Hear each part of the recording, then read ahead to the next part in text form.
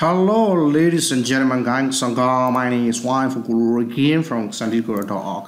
ဒီတင်ကမှာကျွန်တော်က Laravel permission package ကိုကျွန်တော် install လုပ်ရမယ် Sparty Laravel permission ပေါ့နော်အဲ့တော့ Sparty ရကြတော့ကျွန်တော်က Laravel package တစ်ခုဖြစ်ပြီးတော့ကျွန်တော် row user row တွေတက်မှတ်တာပေါ့ user နဲ့ row တွေ row တွေကိုတတ်မှတ်ဖို့အသုံးပြုတာသူ့ကိုကျွန်တော်နံပါတ်1က install လုပ်ပေးရမယ်ဒီမှာကျွန်တော်အခုအဆုံးကအရင်သင်ခန်းစာမှာကျွန်တော်ကရှေ့ကသင်ခန်းစာမှာ middleware တင်သွားရမလားအခုကျွန်တော်က Laravel permission package ကို install လုပ်မယ် install လုပ်မယ် permission package က Sparty ပေါ့ Sparty ရဲ့ Laravel permission ပေါ့ Sparty ကကျွန်တော်အများကြီးအ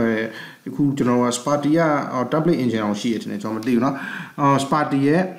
Sparty လား Sparty လားမသိဘူးဘလို့တန်ထွက်လည်းမသိဘူး Sparty ရဲ့ Laravel permission package ကိုကျွန်တော်က rock 1လုပ်ပေးရမယ်ဒီအခုအခုတင်ကန်းလာနှစ်ခုတက်တက်လာပြီเนาะဒီအထိကျွန်တော်တို့ admin panel တိစောက်မယ်ဆိုပြီးကျွန်တော် rock group ဖန်တီးတဲ့အထိလွယ်သေးတယ်အခုကျွန်တော် middleware တိစောက်ခဲ့တယ်တိစောက်ပြီးကျွန်တော်ကအသုံးပြုမယ်ဆိုပြီးခါထဲမှာလည်းကြီးညာခဲ့တယ်တကယ်လည်းမသုံးရသေးဘူးเนาะဒီတော့မင်းဆိုမပူနဲ့ခဏကြာကျွန်တော်သုံးပါ manager အခုကျွန်တော် manager middleware ရှိပြီဘာမှ define မလုပ်ရသေးဘူး default အတိုင်းပဲရှိသေးတယ် ်ရင်နော်ပြီးရင်ကျွန်တော်တို့ကဘာလုပ်မှာလဲအာ middleware ပြီးွားရင်ကျွန်တော်က Laravel permission package ကို install လုပ်မယ်ပြီးရင်ကျွန်တော် role user တက်မှတ်လို့ရအောင်ပေါ့ဒီ permission package မှာကျွန်တော် migration ဖန်တီးမယ်ပြီးတော့ configuration file ဖန်တီးမယ်ပေါ့နံပါတ်1ကတော့ကျွန်တော် composer မှာ require လုပ်ပေးရမယ်ဆိုတော့ဒီမှာနည်းနည်းကြာရတယ်ကောနော် CSS ဆိုဟုတ် CSS ဆို clear sequence CMPOS CR composer REQIR require ဆိုပြီးတော့ SPATI is parties Sparta Sparty Sparty ရဲ့မှာ area ရေဝင်လာတာပဲ P ရ MISSI ဟို permission ဆိုရင် enter ခေါ်လိုက်ဒါဆိုရင်ကျွန်တော်က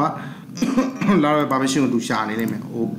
ရှာချင်မှရှာလိမ့်မယ်ကျွန်တော်တို့မှာ forward slash နဲ့ backward slash မှားရေးရတယ်သူသူထည့်ရမှာ backward slash forward slash ကျွန်တော်ထည့်ထားတာ backward slash ဖြစ်နေခဏဆောင်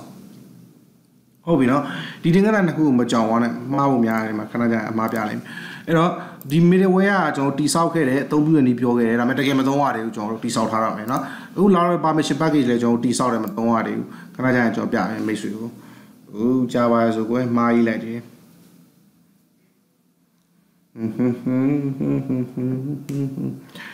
ဒီကတော့ကျွန်တော်ခဏရဲရမယ်ထင်တယ်အမှားပြဖို့ကျွန်တော်မရက်တည်တယ်အမှားပြပြီးသွားရင်ကျွန်တော်တကယ်လှုပ်လို့တဲ့ခါကျခဏရက်ပြင်မယ်ဒီကောင်ကြာလို့ ဟုတ်ပြနေပြီလားပြနေပါဦး spotty spotty လုံးလုံးပြီးတော့နော်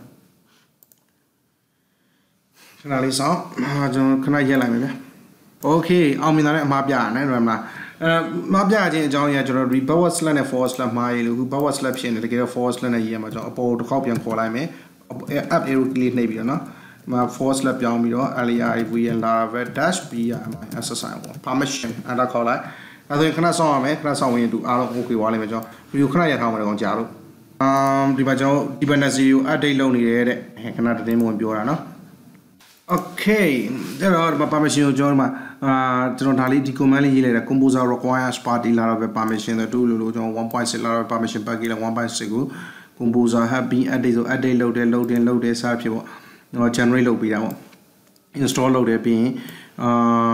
ဘာလဲလဲဆိုတော့ writing log file တွေရေးတယ် auto log file တွေကိုကျွန်တော် generate လုပ်တယ်စဖြစ်အလုပ်လုပ်ပြီးတော့နည်းပြီးသွားဒီလုပ်ငန်းတွေနည်းနည်းလေးကြာနော်မိတ်ဆွေကျွန်တော် video ရက်ပြီးတော့ပြလိုက်လို့နိနည်းလို့ဖြစ်နေမှာနော်အဲ့တော့ကျွန်တော် okay ပြီဆိုရင်ကျွန်တော်က number 1 clear screen တစ်ချက်လုပ်မယ်ပြီးရင်ဒီမှာကျွန်တော်က Laravel permission ကိုကျွန်တော်ဟို Sparty ရဲ့ Laravel permission package ကိုကျွန်တော်ယူပြီးသွားရဆိုရင် permission provider ကို app.php file မှာထည့်ပေးရမယ် provider array ထဲမှာเนาะအဲ့တော့ကျွန်တော်တို့မှာတစ်ချက်ကြည့်အောင်ဒီမှာ app ကိုသွားမယ် config ကိုသွားမယ် config ထဲက app.php ကိုဖွင့်ဒီမှာကျွန်တော်တို့မှာ provider ဆိုတဲ့ array ရှိတယ်ကျွန်တော်တစ်ချက်ပြရမယ်အဲ့မှာ provider array ပေါ့ဟုတ်ပြီနော်အဲ့ဒီ array ကိုကျွန်တော်တစ်ချက်ထည့်ရမယ်ဒါမှလာထည့်လိုက်သူကဘယ်ရလဲဆိုတော့ SP တိုင်း Sparty ထဲကကျွန်တော်က permission ထဲကမှာ permission service provider တွေက class ကိုထည့်ရမယ်။ Yeah အဲ့တော့ထည့်ပေးရလောလောလေးတော့မိတ်ဆွေ config folder တွေက configuration folder တွေက app.php မြဲဒီဟို provider array မှာလာထည့်ပေးလိုက်တာနော်။လွယ်တယ်အဲ့တော့နောက်တစ်ဆင့်ကျတော့ကျွန်တော်ဘာလုပ်ရမလဲ publish migration migration တွေကို publish လုပ်ရမယ်မလုပ်ခင်ကျွန်တော်တစ်ချက်ပြရမယ် database ကိုတစ်ချက်သွားရင်ကျွန်တော် migration ကနှစ်ခုပဲရှိသေးတယ်ခုကျွန်တော် migrate ဒီ Sparty ရဲ့ migration တွေကို publish လုပ်လိုက်မယ် publish လုပ်မယ်ဆိုတော့ကျွန်တော်က C1 composer PHP ARDIS ရ artisan command သုံးပြီးတော့ VND က vendor PUBLIS public ဆိုပြီး doc ကကျွန်တော်တို့ကဒီမှာ dash PRVND ရ provider ရဲ့ provider နာမည်ကိုတစ်ချက်သတ်မှတ်ပေးရမယ် SPDN is party B ရ MISSI permission B ရ MISSI permission S ရ VNC service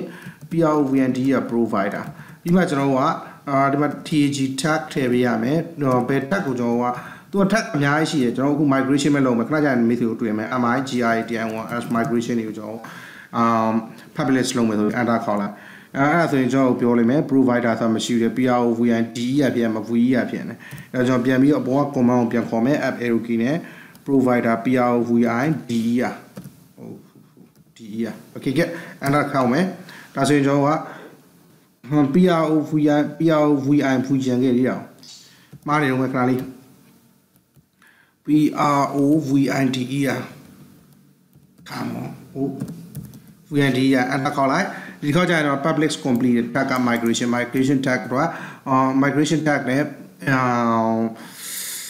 publication လုပ်တာအားလုံးပြီးသွားတယ်ပြီးသွားပြီဆိုကျွန်တော်တို့တစ်ချက် migration မှာကျွန်တော်ဒီနှစ်ခုရရှိရနော်ကျွန်တော် refresh refresh လုပ်ရမယ်သုံးခုဖြစ်လာတော့မလား create permission တည်ပဲ permission တည်ပဲအများကြီးတည်ဆောက်နေမယ် permission ရယ် user has permission ရ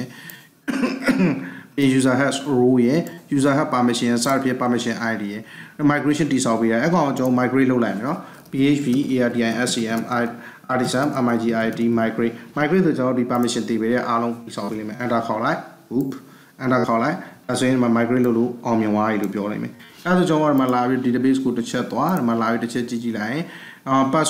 migrate sorry permission ရဲ့ row ဟိုတော့နှိမ့်မိတယ် permission ရဲ့ row ရဲ့ row has permission ရဲ့ user has permission ရဲ့ user has row ရဲ့ကိုကျွန်တော်လောလောဆယ်ကျွန်တော် row တွေမရှိသေးဘူးနော်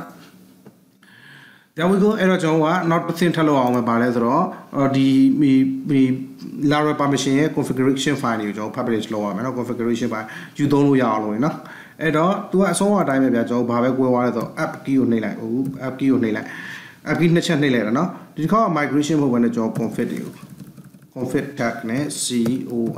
con con fig config config ပဲတင်တယ် config မှာ s ပါအောင်ပေါင်း enter ခေါက်လိုက်ဒါဆိုရင် config tag ကိုလည်းကျွန်တော် migrate လုပ်ပြီးသွားပြီဟို publish လုပ်ပြီးသွားပြီလို့ပြောလိမ့်မယ်ဘယ်လိုရောက်အောင် OneDrive လေ sorry အာ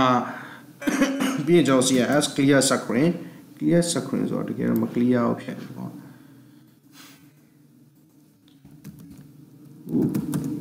မ clear အောင်ဖြစ်တယ်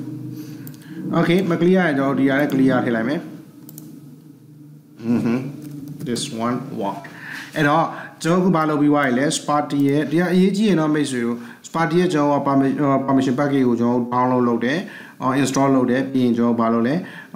config config folder တွေက app.php ထဲမှာ pro app.php ရဲ့ provider array ထဲမှာ Spotify class ကိုကြီးညာပေးတယ် permission service provider class ကိုပြီးကျွန်တော် migration တွေကို migrate လုပ်တယ်အော် migration တွေကို publish လုပ်တယ်ပြီးရင် migrate လုပ်တယ်ပြီးရင်ကျွန်တော်က publish Laravel permission config ဆို config တွေအားလုံးကို publish လုပ်တယ်ပြီးရင်ကျွန်တော် user user တိုင်းမှာကျွန်တော်တို့ကဟိုမိတ်ဆွေတို့ကျွန်တော်ရဲ့ရှေ့ဘက်ကကျွန်တော်တို့ဘာလုပ်ခဲ့လဲဆိုတော့ user ထဲမှာကျွန်တော် user ရဲ့ row ရဲ့ table တွေကိုကျွန်တော်ဘာလုပ်လဲ pivot table ဖန်တီးတာတော့ဖန်တီးပြီးအလုပ်လုပ်တာမိတ်ဆွေတို့မှတ်မိပြီလားအဲ့ဒီတိုင်းပဲကျွန်တော်ဒီမှာလဲကျွန်တော် pivot table ဖန်တီးရမှာဒါပေမဲ့ pivot table ကကျွန်တော်ဖန်တီးကြမလို့ဘောဒီမှာတူလို့ဖန်ပြီးတာ user အာဘာ user has row ရဲ့ user has permission ရဲ့ user have permission ရဲ့ဒီမှာကျတော့ row ရဲ့